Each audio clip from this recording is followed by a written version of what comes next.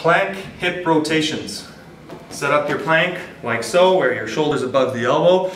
You can do Sphinx style as well. Again, keep the elbow right underneath the shoulder. This will be a tiny bit more difficult. So, feet together, and you're gonna rotate, making a circle with your hip to one side, back to the top, and to the other side.